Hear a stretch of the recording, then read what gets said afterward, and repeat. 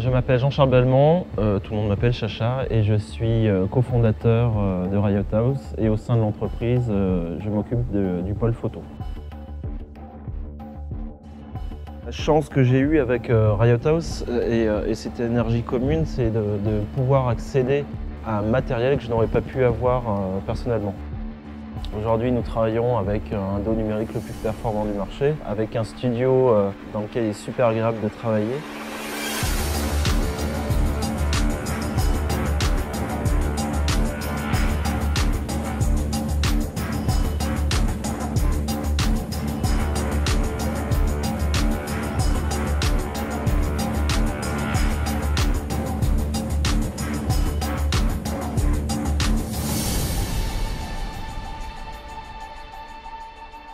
Je m'appelle Sébastien Pitoisé, mais je suis plus connu sous le, surnom de Billy.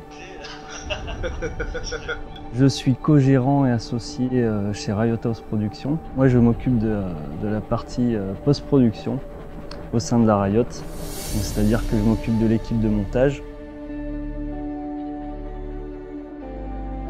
Dans ce domaine-là, on essaye de faire des, euh, des montages qui changent un peu, d'apporter la patte Riot House L'esprit des Riot House est assez rock'n'roll, c'est un petit côté euh, attachant.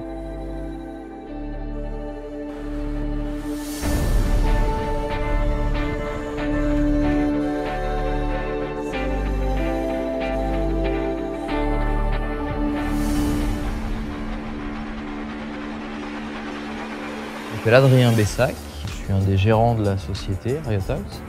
Euh, on m'appelle Adi communément. Mon rôle dans la société, ça va être euh, d'organiser tous les tournages euh, et d'être présent aussi un peu autant à la réalisation qu'au cadre sur, la majorité des tournages de l'entreprise. J'ai une, culture de l'image assez lifestyle et paysage. J'aime beaucoup me lever le matin, profiter des lumières, profiter du paysage. Au lieu de faire de la mise en scène, c'est essayer de capturer vraiment ce qui se passe devant, devant notre, notre objectif. Aujourd'hui, on est fiers de notre histoire, d'être parti de quasiment rien, avoir déjà créé de l'emploi, euh, travailler avec des entreprises nationales et internationales de, renom. Et voilà, et encore avoir un, grand chemin à, parcourir. Et, euh, ça c'est une, certaine satisfaction.